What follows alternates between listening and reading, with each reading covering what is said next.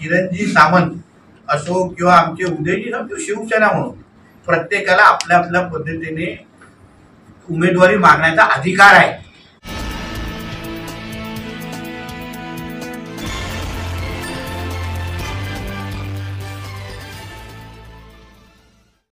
हा तयार होईल अशा पद्धतीचं चित्र आपल्या रत्नागिरीमध्ये आपल्याला पाहायला मिळेल. दुसरं उदाहरण म्हणजे राणे साहेबांनी आपल्या कारकिर्दीमध्ये सिंधुदुर्ग जिल्हा हा टँकर फ्री जिल्हा करून दाखवला.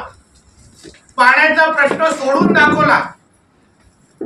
तेच अगर रत्नागिरीकरांना अनुभव घ्यायचा असेल कारण का राजकीय इच्छाशक्ती आणि राजकीय वजन कसं वापरायचं असतं मंत्रिमंडळामध्ये असो आपल्या वरिष्ठांकडे असो आपला राजकीय वलय आणि वजन वापरून प्रश्न कसे सोडवायचे असतात अशा सकारात्मक पद्धतीने काम करणारा खासदार आपल्याला निवडून द्यायचा आहे.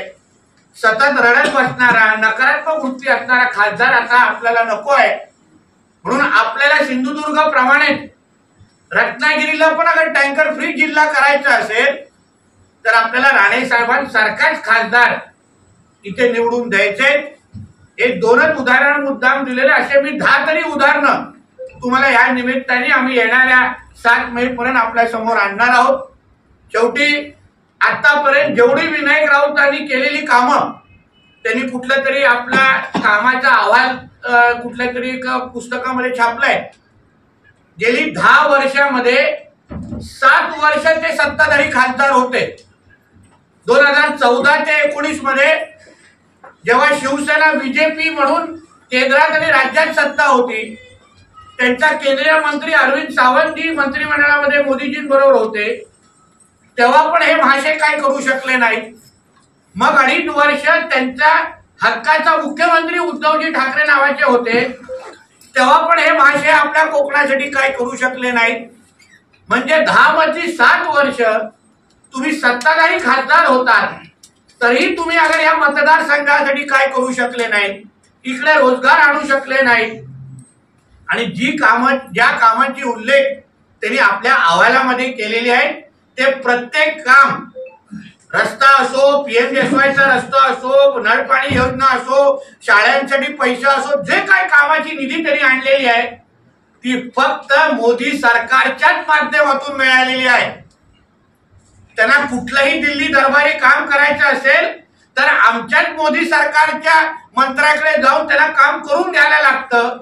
म्हणून मी इकडच्या जनतेला या निमित्ताने आवाहन करेन आपल्याला असं फिरून जाण्यापेक्षा आपण थेट मोदीजींशी बोलणारा मोदीजींशी संवाद साधणारे थेट मोदीजींबरोबर उठबस करणारे थेट मोदीजींच्या मंत्रिमंडळामध्ये बसणारे थेट एकनाथ शिंदे साहेब आमचे देवेंद्रजी फडणवीस साहेब आणि अजितदादांशी थेट बोलणारे असे थेट बोलणारे खासदार आपल्याला निवडून द्यायचे म्हणून ह्या निमित्ताने या पुढच्या मला वाटतं एक पंधरा सोळा दिवसामध्ये आम्ही ह्या मतदारसंघाच्या सगळ्याच जनतेपर्यंत भारतीय जनता पक्ष आणि महायुती म्हणून आम्ही पोचण्याचं काम करणार आहोत.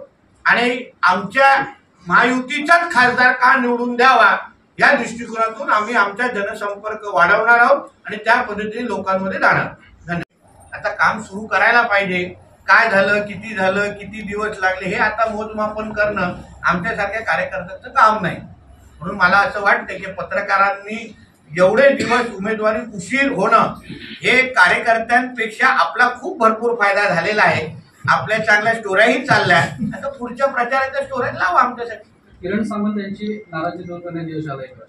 एक लक्षात घ्या किरणजी सामंत असो किंवा आमचे उदयजी आमची शिवसेना म्हणून प्रत्येकाला आपल्या आपल्या पद्धतीने उमेदवारी मागण्याचा अधिकार आहे. किरणजी सामंत असो उदयजी सामंत असो उदयजी सामंत तर मंत्रिमंडळात राज्याच्या मंत्रिमंडळात एक ज्येष्ठ मंत्री आहेत उद्योग मंत्री आहेत. म्हणून त्यांना अधिकार आहे आपल्या पद्धतीने उमेदवारी मागणं. म्हणून नाराजगीचा तर विषयच राहत नाही अधिकार आहे. त्या पद्धतीने ते उमेदवारी मागत होते. आणि ठीक आहे आता राणे साहेबांना ते त्यांनी राणे साहेबांची उमेदवारी जाहीर झाली आहे.